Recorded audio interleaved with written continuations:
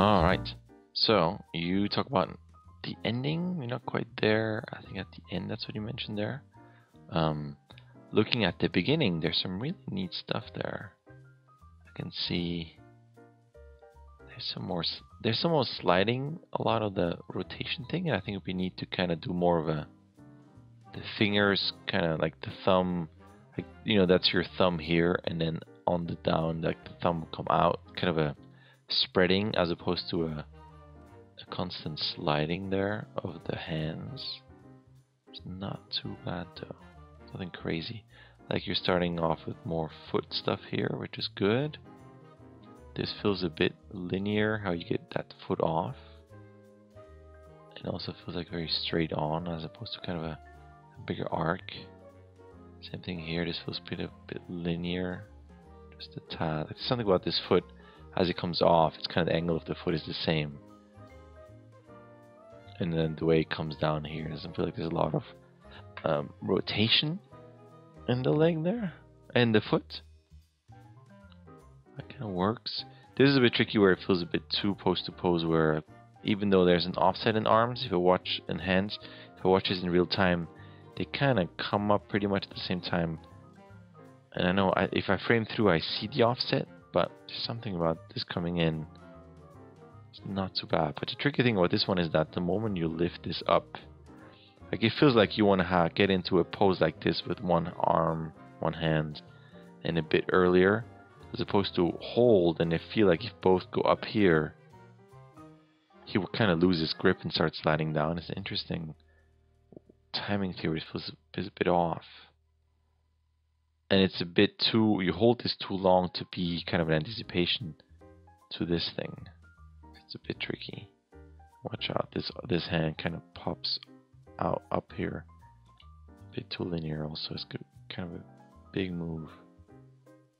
On that throw, I'm not sure if I saw that last time too, what it feels like on that on that um, push off and throw. What's it called? Twist. Uh, there's something about this coming down and rotating, which works, but then once you hit this point, it feels like you're suddenly rotating out of really this neck, and he's not really falling down anymore. It's like a full rotation with the pivot in the neck, as opposed to continuous translate down. So watch out how you suddenly have that. It's kind of a weird pivot point on that on that drop. Boom. But the offset there is good. Like how it looks around. Um, you might still argue that potentially this is a bit too close, the knee and and the hand there. Same thing here, that hand and that foot there. Close in terms of tangents.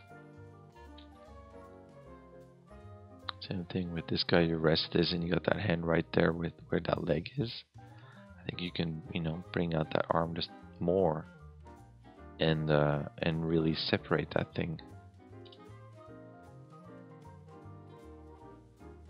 Careful how long you linger that spear with that leg here so it doesn't overlap as long.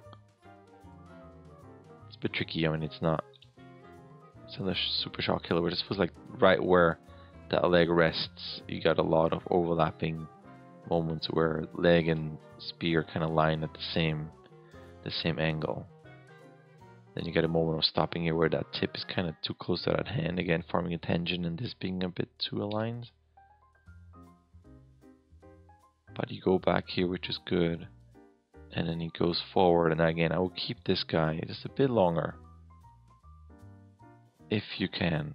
Just it feels like you're lifting the amount of push off from that foot is not quite enough and I don't see like there's no change in the rotation of that foot like you want to keep this so that you can go really far back with that foot roll because it feels like he starts to use this leg to push the body over here but by the time he lifts his leg he's still kind of leaning back here he would he would start falling back you want the body like here the body over this leg, be really over that, and then this leg can come off.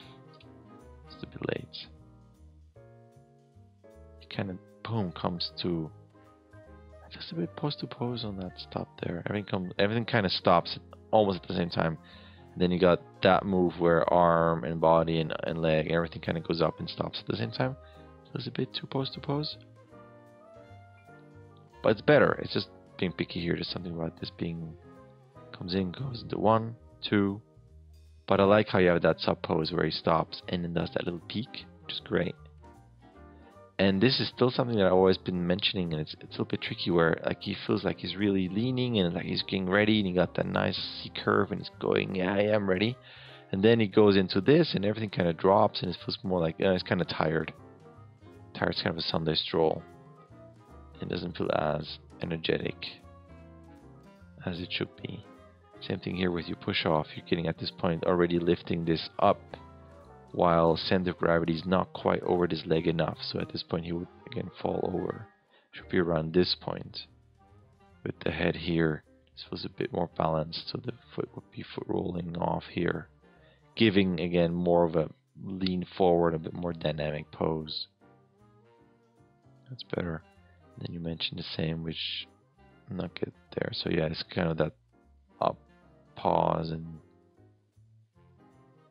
Goopy just a bit more dynamic there. It's kind of neat though. Can probably bring this guy just a further back a bit. So that's kind of see it. You're getting there. It's definitely in, in the right spots. Little tangent things there and kind of offset and watch out your your your um, if you hold the pose and it starts like make sure that you kind of ease out enough so it doesn't kind of pop out and watch out how you get into that kind of a oh, tired pose there.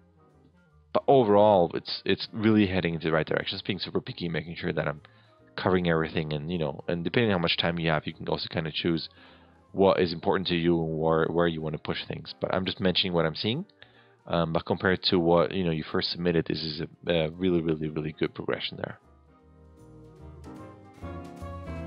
All right. There's an email. You can sign up. You can start whenever you want. You can submit whenever you want. You get 16 submissions. Either way, a like and subscribe would be awesome. All right. Thank you.